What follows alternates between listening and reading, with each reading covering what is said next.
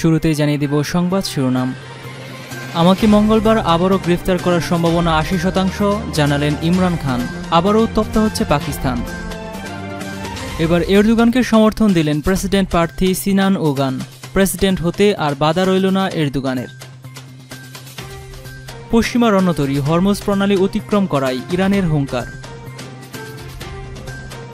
এবার ইসরায়েলের কঠোর সমালোচনা করল যুক্তরাষ্ট্র। আফগানিস্তানের সামরিক হেলিকপ্টার বিধ্বস্ত হয়ে দুই পাইলট নিহত। ইউক্রেনকে এফ সিক্সটিন যুদ্ধবিমান দেওয়ার ফল ভালো হবে না হুঁশিয়ারি রাশিয়ার। এবং সবশেষ থাকছে, তিন ফিলিস্তিনি যুবককে গুলি করে হত্যা করল ইসরায়েল।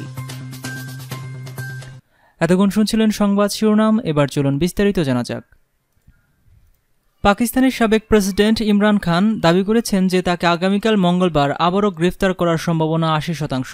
আজ সোমবার পাকিস্তানের সংবাদ মাধ্যম ডন এই তথ্য জানিয়েছে। ইমরান খানের বরাদ দিয়ে প্রতিবেদনে বলা হয়, আগামীকাল ইসলামাবাদের আদালতে কয়েকটি মামলার জামিন নিতে গেলে তাকে গ্রেফতার করা হতে পারে। মার্কিন সংবাদ মাধ্যম সিএনএনের একটি সাক্ষাৎকারে ইমরান খান অভিযোগ করেন, ক্ষমতাসীন জোট পিডিএম সেনাবাহিনীর সঙ্গে একত্রতা হয়ে গণতান্ত্রিক ব্যবস্থাকে ক্ষতবিক্ষত করে আমাকে এর বাইরে রাখার চেষ্টা করছে। তিনি আরও অভিযোগ করেছেন যে, এই মুহূর্তে তার দলের দশ হাজারেরও বেশি নেতাকর্মীকে গ্রেফতার করা হয়েছে। দলের জ্যেষ্ঠ নেতাদের প্রায় সবাই কারাগারে। শত শত নারী এবং শিশুকেও কারাবন্দী করা হয়েছে।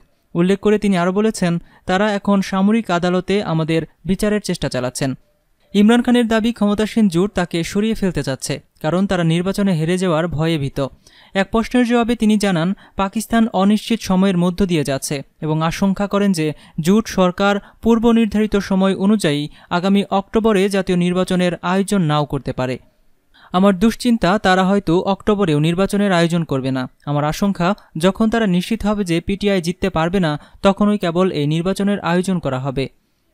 তিনি আরও জানান, পাকিস্তানের পরিস্থিতি এতই অবনীত হয়েছে যে, এমনকি বিচারক এবং আদালতের সিদ্ধান্তকেও বাতিল করে দেওয়া হচ্ছে।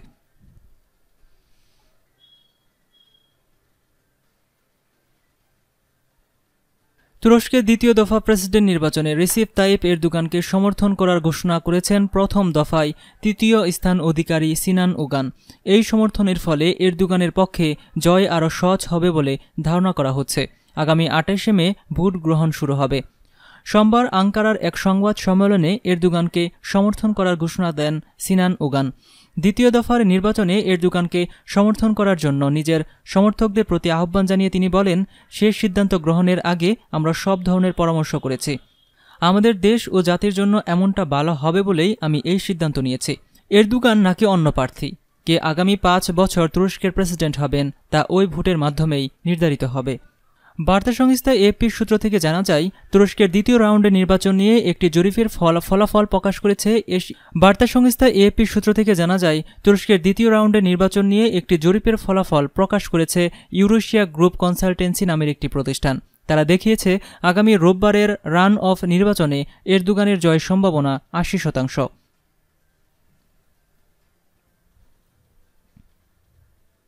ইরান বলেছে তারা আঞ্চলিক জলসীমা সুরক্ষিত করতে সম্পূর্ণরূপে সক্ষম। বিশ্বজুড়ে আট মাসের সফরের পর দুটি ইরানি যুদ্ধজাহাজ ফিরে আসে। এই উপলক্ষে রোববার দেশটির দক্ষিণ জলসীমার কাছে জাহাজ দুটিকে স্বাগত জানার অনুষ্ঠানের আয়োজন করেন ইরানি কর্মকর্তারা।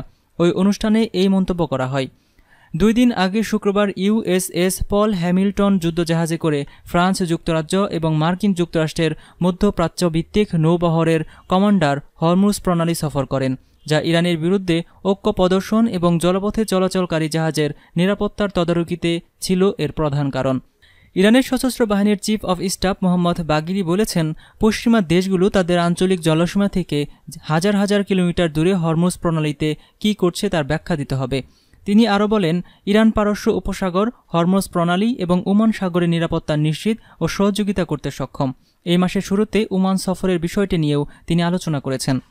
তিনি বলেন, আঞ্চলিক জলসীমার নিরাপত্তা নিশ্চিত করার জন্য আমাদের বিদেশিদের প্রয়োজন নেই, যা আমাদের সেনাবাহিনী, নৌবাহিনী এবং ইসলামিক বিপ্লবী গার্ড দ্বারা সুরক্ষিত। মার্কিন নৌবাহিনীর পঞ্চম নৌবহরের তত্ত্বাবধান করেন vice admiral Brad Cooper. Hormuz প্রণালীর ভ্রমণের সময় তিনি বলেন, ইরান গত দুই বছরে আটটি জাহাজ জব্দ করেছে এবং আরও সাতটিতে আক্রমণ করেছে। ইসলামিক রেভলিউশনারি গার্ড কর্পেস বা আইআরজিসি ফাস্ট বুটগুলো পল হ্যামিল্টনকে এক কিলোমিটারের কম দূরত্ব থেকে পর্যবেক্ষণ করেছে।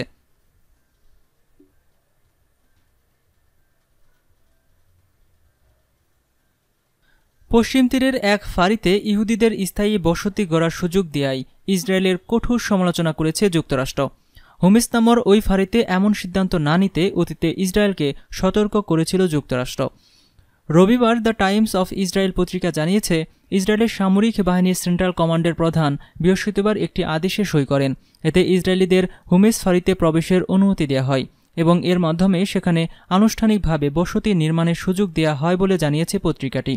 ফিলিস্তিনিদের সঙ্গে উত্তেজনা বাড়ায় এমন সিদ্ধান্ত না নিতে যুক্তরাষ্ট্রের পররাষ্ট্র মন্ত্রণালয় ইসরায়েলকে বারবার অনুরোধ করেছে। বিশেষ করে হুমেস ফারিতে কিছু না করতে সতর্ক করে দেওয়া হয়েছিল। মার্কিন পররাষ্ট্র মন্ত্রণালয়ের মুখপাত্র ম্যাথিউ মিলার একটি বিবৃতিতে বলেন, পশ্চিম তীরের উত্তর অঞ্চলে অবস্থিত হুমেস ফারিতে স্থায়ী বসতি নির্মাণের অনুমতি দেওয়া সংক্রান্ত ইসরায়েল সরকারের আদেশে আমরা গভীরভাবে উদ্বিগ্ন। ইসরায়েলের আইন অনুযায়ী ওই এলাকাটি ফিলিস্তিনিদের ব্যক্তি মালিকানাদের ভূমিতে গড়ে উঠেছে। তিনি বলেন, ওই আদেশে দুই হাজার চার সালে ইসরায়েল সরকারের করা অঙ্গীকার এবং অতি সম্প্রতি বাইডেন প্রশাসনের কাছে করা অঙ্গীকারের সঙ্গে অসামঞ্জস্যপূর্ণ। এ বিষয়ে ওয়াশিংটনে ইসরায়েলের দূতাবাসের কাছে জানতে চাইলে এখনও কোনো উত্তর পাওয়া যায়নি।